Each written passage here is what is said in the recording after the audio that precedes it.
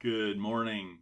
This is Todd Coburn of Cal Poly Pomona with lecture 9 of ARO 4080. Today we're going to be looking at the finite element analysis of beams under transverse loads. Let's take a look at how it works. So before we get started, let's take a quick review of what we saw last time about uh, beams and deflection of beams. We saw a cantilever beam and we saw that the max deflection is given by this value. Except when we look at this value, the deflection being PL cubed over 3EI, what we're really talking about is just the deflection due to the normal stresses that build, that build up in the beam. The, nor, the deflections due to the transverse loads due to bending. Okay, but we also saw and probably for the first time, that we get a shear deformation just like when we have a short little shear element. And that is given by this equation.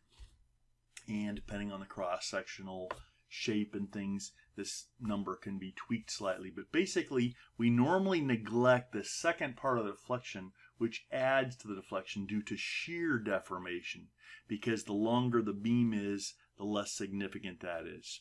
For a given beam, you're going to get a shear deflection. Anytime you have a transverse load, you're going to get a shear deflection. The longer it is, the more deflection you get is proportional to the length. However, the that value is relatively small, and the value due to bending tends to be much larger, especially if you have anything other than a stubby beam. The longer that beam gets, the larger that first deflection is. The deflection due to the normal stresses gets larger and larger and larger much more rapidly because you got the L cubed term, while the shear deflection is only growing proportionally to that length.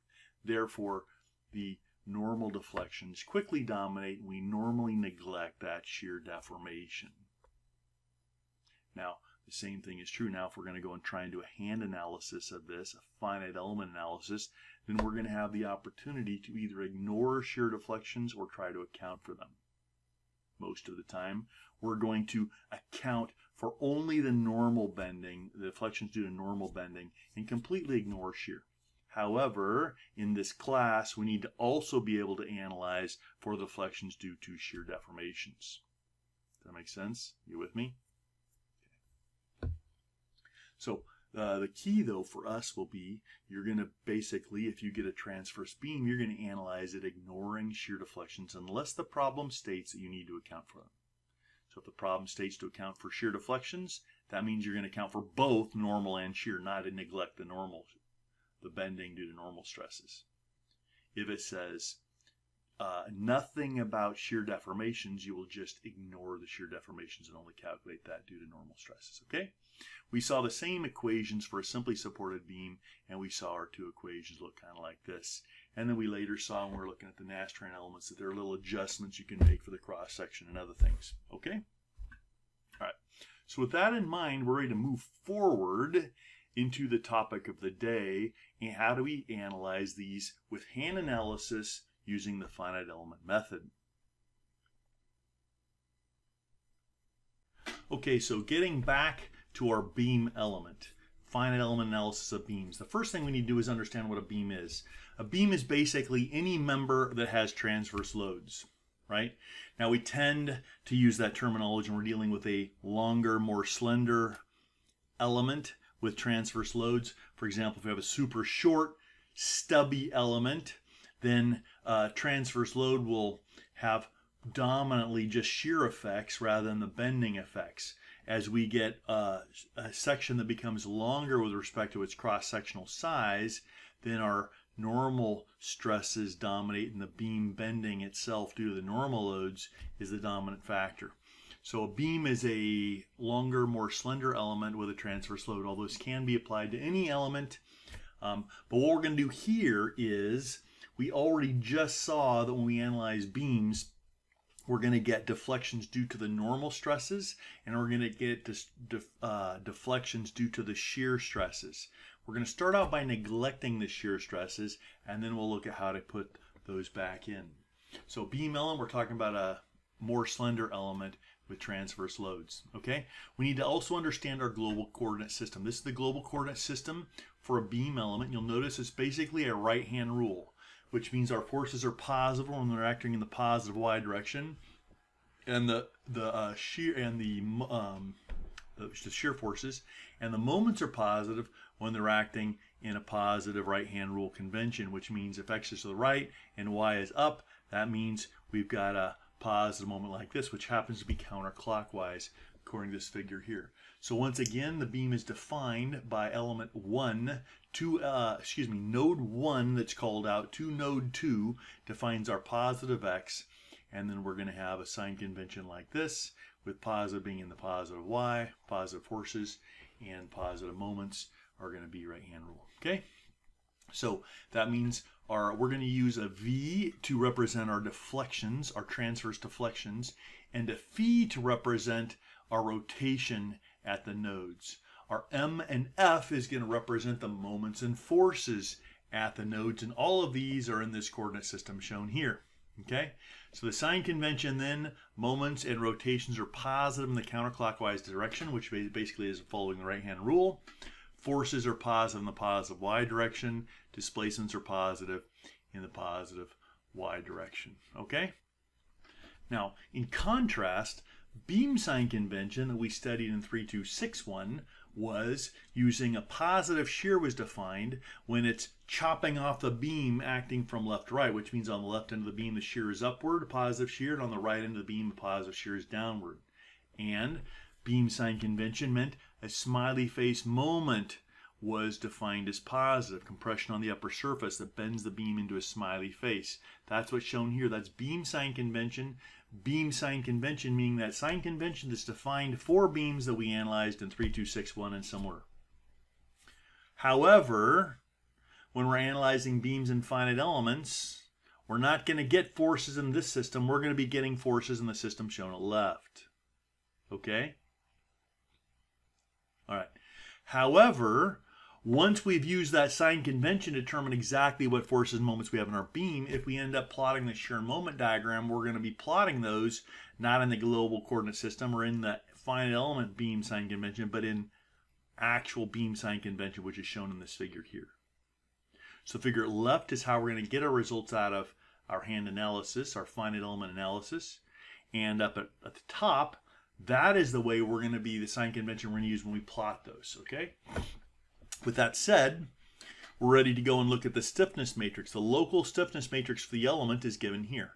Now, if our beams happen to be aligned, if the local coordinate system of the beam is coincides with the global coordinate system of the beam, then this will be not only the local but also the global stiffness matrix for that element.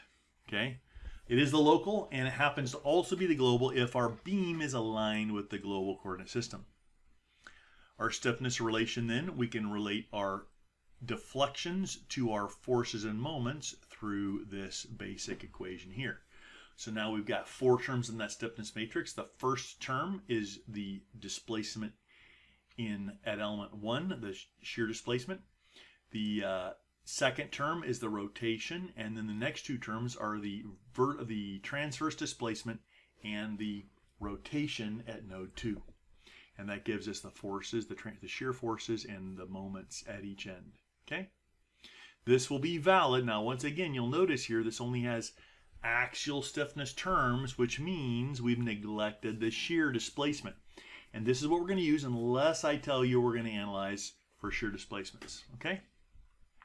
All right. So this is our coordinate system then. And uh, this is our coordinate system on the left is the one we're going to be using. The one on the right is how we're going to be plotting those. This is our local stiffness matrix.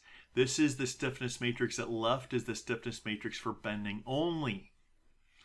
And if we want to account for the shear deflection, which happens as our beams get shorter and stubbier and deeper and deeper, then shear becomes more dominant and becomes non-negligible. Uh, if we want to include that shear flexibility, we can follow an approach by Timoshenko, which basically says he defines this parameter phi. This is a different phi than the rotation. It's given by this term where we get our ks from this little uh, set of bullets here. Plug that in along with the area and all those other properties of the beam. That gives us our phi. We plug the phi into our the stiffness matrix here, and this will give us, when we use this equation, the displacements we get will include both normal stress and shear deformation, both bending and shear deformations of that beam. If we use the stiffness matrix at left, we're only going to be getting the bending deformation and be and we will be ignoring the shear deformation, okay? So, in our class, once again, we're going to never account for shear, only use the bending stiffness unless I tell you to account for shear deformation. Then we're not only accounting for shear deformation, we're accounting for both, and we'll be using the stiffness matrix here. So we're going to use the stiffness matrix at left, at left for all of our work, unless the problem states to account for the, the stiffness or flexibility, and in that case, we will use the matrix at right. Now, once we've done that, everything else will be the same. We're going to start by discretizing our beam. In this particular case, if we have intermediate forces and moments, we're going to need a node there in order to account for those, to apply those. In fact, we're going to need a node anywhere we want the deflection, right? Because if we didn't have a node in the middle, if we didn't have these forces in the middle, we would not be getting deflection at the middle. We're going to construct our global stiffness matrix in the same way we always have, and then we're going to go ahead and impose our boundary conditions to get our displacements. Let's take a look at how that works in a step-by-step -step procedure. So here is our step-by-step -step procedure for doing this work.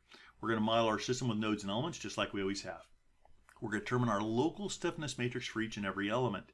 We're going to use the bending stiffness only stiffness matrix unless we're told to include those shear effects. Uh, now later we may need to transform this. Remember, right now we're looking at two-dimensional analysis because the beam has uh, deflections that are perpendicular to the to the axis of the beam.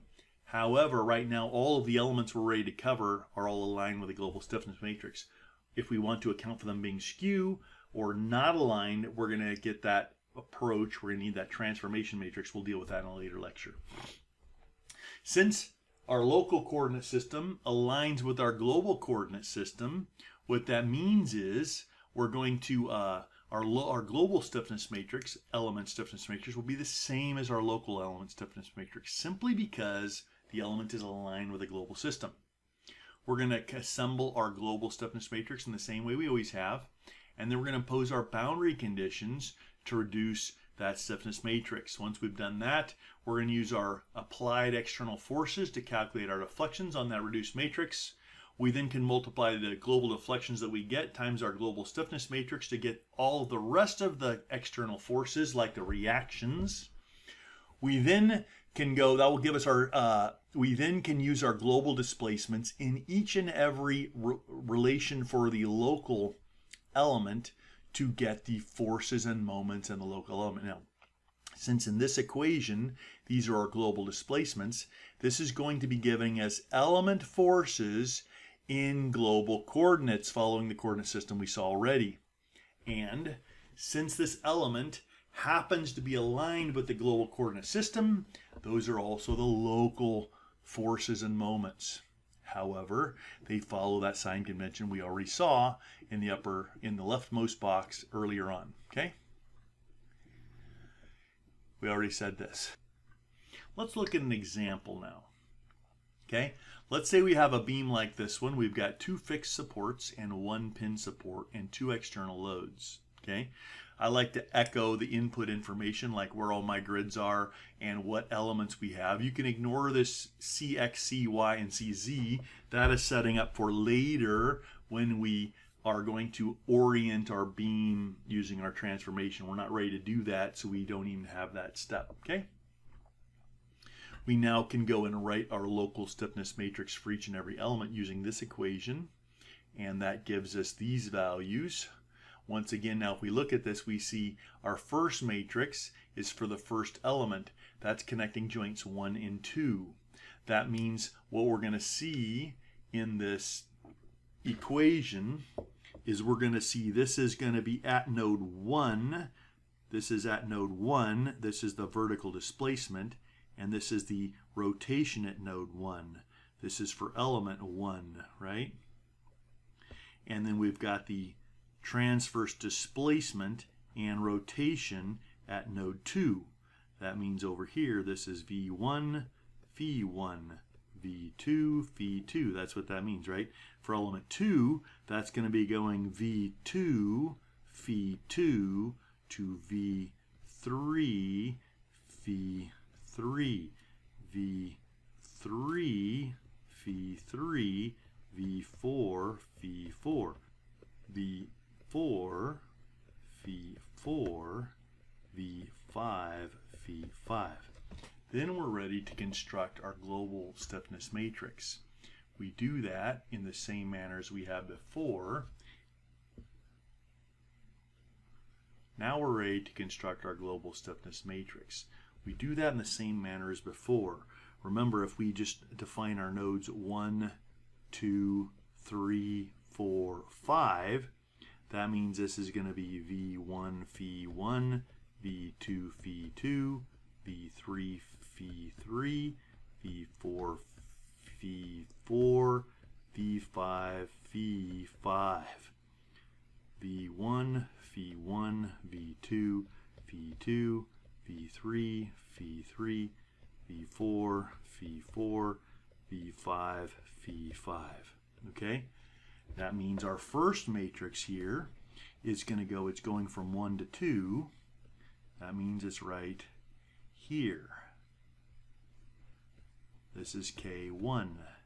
Our second matrix is going from 2 to 4.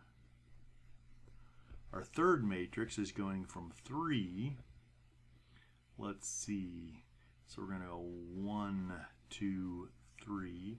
So be going from 3, 1, 2, 3, 2, and the last one is going to be going from like this. See that? That's where those are going to go, just like we've done it before. Okay, let's go ahead and erase the ink on this slide. And now we can see when we impose our boundary conditions, we see at node 1, both our V is constrained and our phi is constrained. At node 3, only our V is constrained, our displacement. At node 5, both our deflection and rotation are constrained. This gives us the reduced matrix. And you'll notice that means at node 2 and node 4, we have the vertical displacement and the phi, or the external applied force and moment. There's no moment at either place. We have an external force at both places. So we construct our local, uh, our global system on the reduced system, and we solve it, and that gives us the displacements that we see here. These are our global displacements. We can then take those global displacements, multiply them by our global stiffness matrix, and that gives us our external forces. You'll notice that the two input forces are here in this matrix, and they're spit out properly at node 2. We had a vertical force, and at node 4, we had a vertical force, right? And all the rest of these values are the constraints, forces. So we see at node 1, at node 1, we have a force and a moment. And you'll see that I'm printing out the moment both in inch pounds and foot pounds. Inch pounds is all we really care about. The foot pounds, I think I did that to match our text since the text is showing in that coordinate system. It can be a little confusing. At node 2, we have uh, we had that applied force, we have no applied moment. At node 3, we get the reaction out. At node 4, we have our applied stuff. And at node 5, we're getting our reactions out there again. Okay? So these are our reactions. So we can check that that way. Now we can take those forces, uh, or excuse me, we're going to go back to our global displacements and we're going to take the corresponding ones for each and every element. So that means for element 1, we're going to get the global displacements at, element, at node 1 and node 2, plug it in here to calculate our forces. We do that for each and every element, and we end up getting our nodal forces and moments in the sign convention that we saw on that prior slide, okay? Let's see how that works out. We're going to start This is just echoing our inputs, our external forces and our element forces. And now we're going to draw an exploded free body diagram. Well, how do you do that? Well, let's take a look at it together, okay? So we're going to start out by plotting. So we see we've, we take a look at our model shown here. And what we're going to do is plot out each of our nodes and we're going to give ourselves room. So we're going to say, okay, node 1, node 2, node 3, node 4, node 5. Basically spreading those out across our page, giving as much space between them and around them as we can. We then are going to go in here and we're going to put in each of our numbers. We're going to start with our external forces. So we say, okay, at node 1, we have a 5,000 pound force. That's in the positive direction. Bang. We also have a 300,000 inch pound moment. Counterclockwise was positive. Bang. 300 inch kips, right?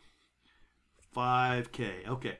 Now, we're going to go to the next force. Forget the foot pound values. We're not going to be plotting those. We can get rid of all of those so we don't get confused. That's just a repeat of the other inch pound value. Now at node 2, we have our applied force. That's a negative, uh, what is that, 10 kips? Okay, and we see, so we've got that one. And at node 4, we've got a negative 10 kips. So we draw that right through those elements, okay? Except we'd say actually kips. We wouldn't, and it would actually be 10.00, right? We'd be showing proper sig figs. All right. So we've covered those. Now we go to our other end at node 5. We've got a 5,000 pounds positive force, 5 kips, and we have a minus 30. So that means it's clockwise, the opposite of the counterclockwise, which is a 300 inch kips, right? All right. So now that's all of our forces have been accounted for. Now we're ready to go to our moment. So what we're going to do is draw our moment, our little elements, as small as we can, so you can see that it's an element, but so that you have as much room as possible to draw your forces. One, two, three, four. And now we're going to plot. We're going to start off with this five kip and uh, we're going to start off with our five kip force. Remember up is positive. So at node one of element one, it's 5K positive. At the moment there is positive, which following right hand rule is like this. Now at the other end, we've got a negative 5. We're talking global coordinates. That means it's down. And we've got a positive 300. That means counterclockwise. And now at the next element, element 2 in the at node 1. Now notice we're not going to put the other parts of those yet. We're going to go ahead and just put all these element forces and then we'll clean this up. So going to element 2 now, we've finished this guy. We're going to go and put our negative 5 on the first node against the element. And against the element, we've got a negative 300. And then on the next node, at node 3, we've got a plus 5. And we've got a, uh, at, at that node, we've got a minus 300. Okay? Now at the other node, minus then at the other node we got a plus 5, which is here, and a negative 300, which is here. Okay, we did that. Then we've got element 3, we've got a plus 5, and we've got a plus 300. And on the other end, we've got a minus 5 and a plus 300. And then on the next one, we've got a minus 5 and a minus 300 and a plus 5 and a minus 300. Okay? Now we've put all of these in and we put all of these in. Now we're ready to clean it up. Now, at our first element, we plotted these from these values and now on those, while they're acting in the way we just drew on the element, they're going to be equal and opposite on the node. So we're going to reverse the two directions. And on the second node here, we're going to reverse the equal and opposite. That means this is doing this, right? Opposite of those two. Oh, I'm sorry. Let's go back here. At node uh, 2 of element 1, that was a minus 5. at node 2, element 1 minus 5, that's down. That means this is up, right?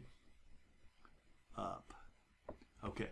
And then here on the, this one is going to be opposite, and this means that's going to be opposite.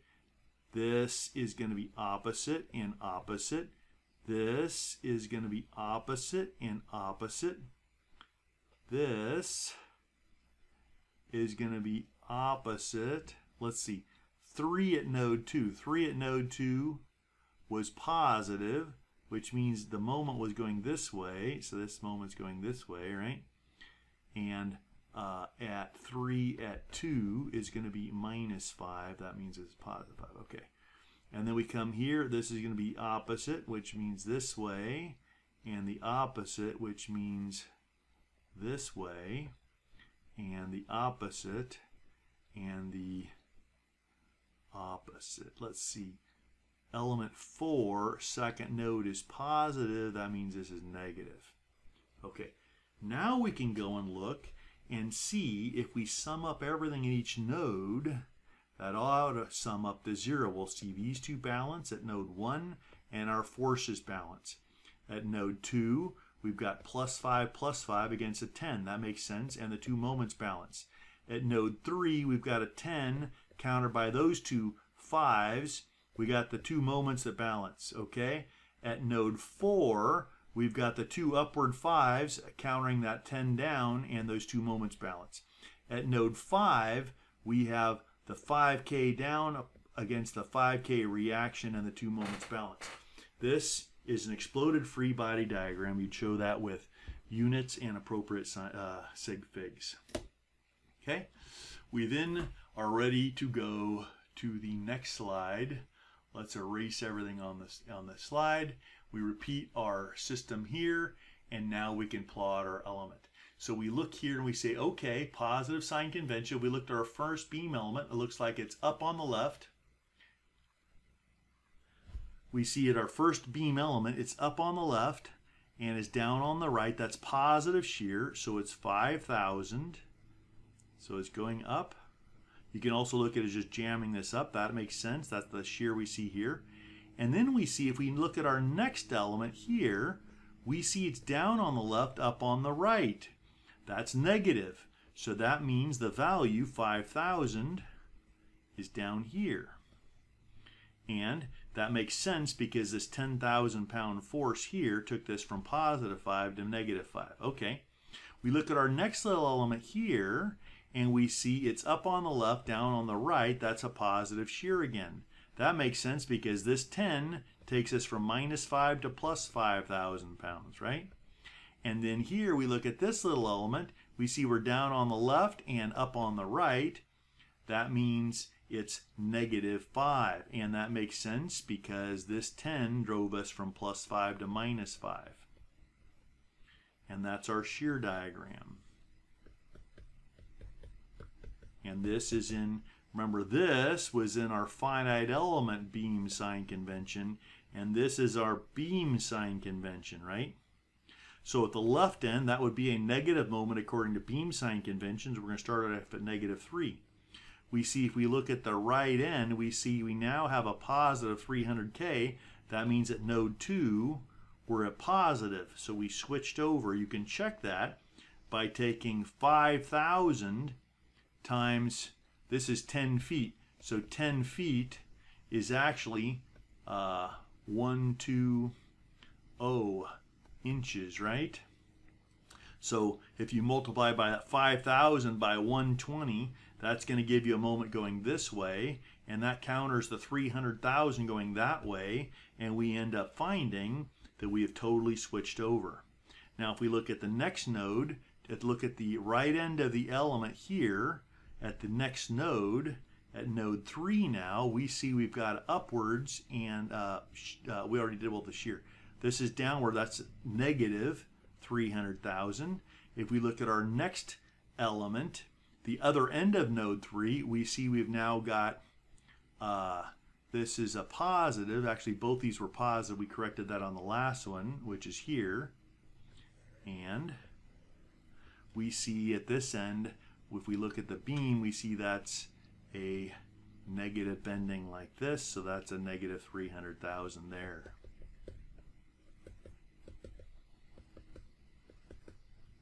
And now we have, we label these 300 inch kips. We label each of these points in the same way, and that's how we turn that into a shear and moment diagram. Make sense? Right. Here's another example. Let's say we have two beam elements and one spring element. We're going to do this the same way. This is now a two-dimensional problem, right? So we've got our nodes and we've got our beams. And when we construct our coordinate system, we're going to, or our global stiffness matrix, we're going to end up something like this because we're going to eliminate our vertical and our moments at node 1. We're going to eliminate the vertical at node 2. And node 3 will be free. Node 4 is completely fixed. So we will go ahead. This is our local stiffness matrix for our beam. We've got two beam elements.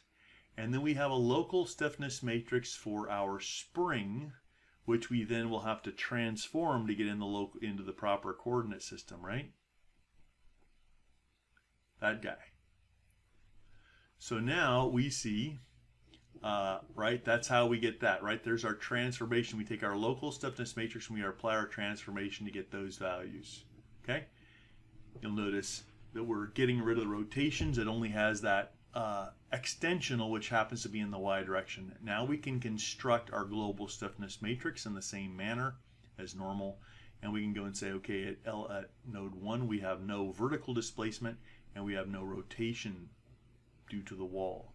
At node 2, we also have no vertical displacement. At node 3, it's completely fixed. I mean, completely free. And at node 4, it's completely fixed. So we're going to exclude that from our matrix. Now we're ready to solve our reduced system. All we have is one external force, 50 kilonewtons at node 3. So we can go and solve our reduced system equations to get our displacements, use our displacements to get our external forces, use our external forces to get our forces in the beam, and use those to get our local forces. So now we're going to draw our exploded free body diagram and we start by organizing all of our external forces and our internal forces.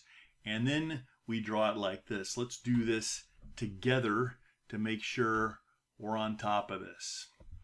Okay, so we're going to start by writing, uh, drawing each of our nodes, our grid points, and we're going to spread them out as far as we can, one, two, and three, so that we have room to put the forces and moments on them. Then we're going to look at our external nodal forces and we're going to place them on our diagram. So the first one is at node 1 in the negative y direction. There's the magnitude. and we have a moment there also in the negative. Remember positive was counterclockwise. So this is going to be going like this. That's a reaction also with the magnitude shown here.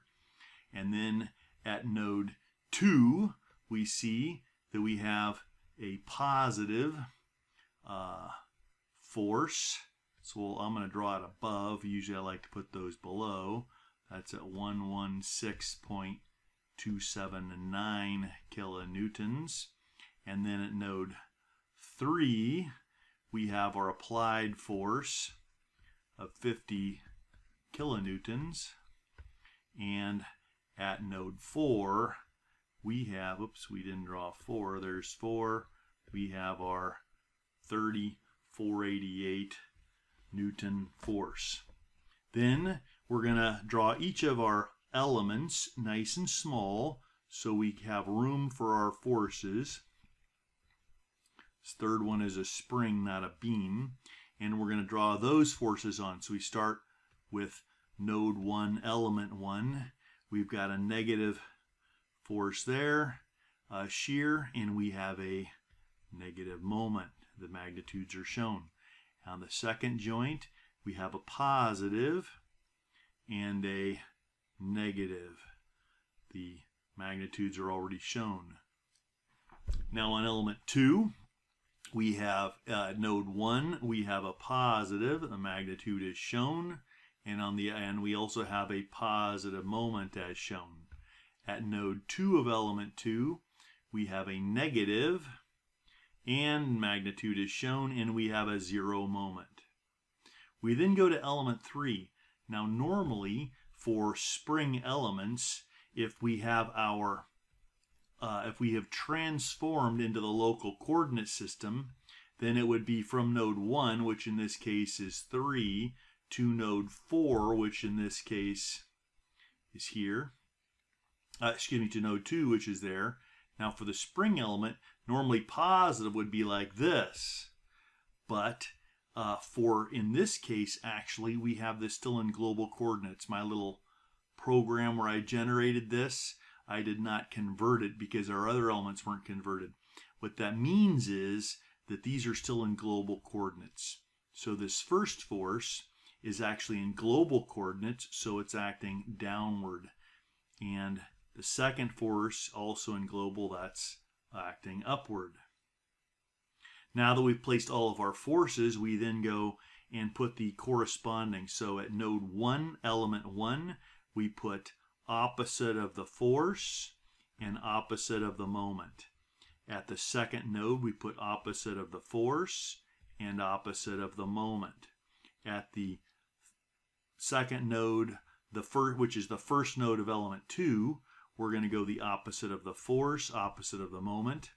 And at node 3, from element 2, opposite of the force, there's zero moment. We put the magnitude, 46.5. And then at element 3, opposite, what's that, uh, 3.49. And on node 4, 3.49 kilonewtons. Kilonewtons. You'll notice all these are, that's actually kilonewtons, kilonewtons, kilonewtons, kilonewton meter for all these units through here. Okay, let's see. I think we got everything here. So once again, these elements here. Now this, if this this is the global, this is the element global forces, and so they're in global coordinates. If we had multiplied by our T2 star matrix, our transformation matrix, like we'll do later, then we would have put these back into local, and then these would have been reported differently, and we would have written them differently.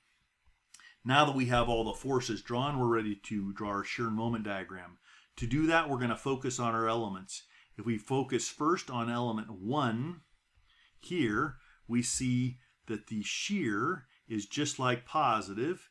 It, uh, it's the opposite of positive, right? Because it's supposed to be chopping off, moving from left to right, and it's actually pushing up. So this is negative, whatever that shear value is, which is 69.8 kilonewtons. All the units down here are wrong too because my program wasn't updated.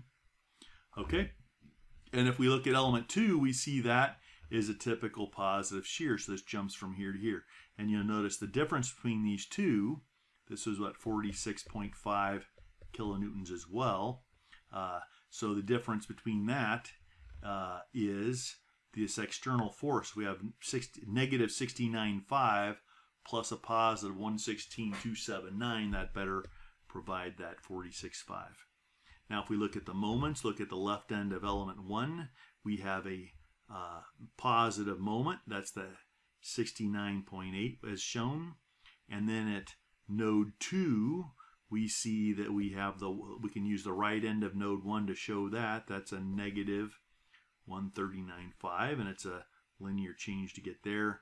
We see the right end of node 2 is 0, and so we're going linearly to that value. That becomes our moment diagram where we'd write the value here and the value right down here of 139.5 kilonewton meters. This is 0 right here. Okay? There's our shear diagram. There's our moment diagram. That's how we do those. Okay. Let's look at another example. Here's one, two beams, a couple forces, and uh, some constraints. There's our deal, here's our other deal, and now we can go and start working it. We'll write out our stiffness matrices. We've got two local stiffness matrices and one global. We do the, this is repeating the global. We now apply our boundary conditions. These are some of the easiest boundary conditions to apply. And now we have a reduced system. We solve the reduced system for the for, uh, displacements. We use the displacements to get the forces. We use the forces to get the element stresses. And then we can sketch our free body diagrams. That's a repeat of what we just had. And now we can plot it out. Let's try that together. So if we look here, we first start by saying, okay, we have three nodes. We have one, two, three. Okay? At node 1, we have a 10 Newton force, 10 kilonewtons, bang. At node 1, we have a 12.5 kilonewton moment in the positive. Right? At node 2, we have a 10 kilonewtons down. So at node 2, 10 kilonewtons. And the moment there is 20. We had a moment as well. So we have this external moment, it's positive, we'll draw it down here. 20 kilonewton meters. And then we have at node, uh, that's this. And then we have at node 3, we have no vertical, and we have minus 25. Minus 25, drawn like this, okay? All right. Yeah, that's correct. All right. Then we go to our elements. We draw our little elements in here. One and two. All right. And at the first node of one, it's positive. Bang. At the same place, we have a positive. Bang. At node two, it's negative. Pow. And the moment is positive. Bing. And then we have at node, the first node of element two, we have zero and we have a moment 2, 5, which is positive. The other end we have a minus 2, 5. Okay?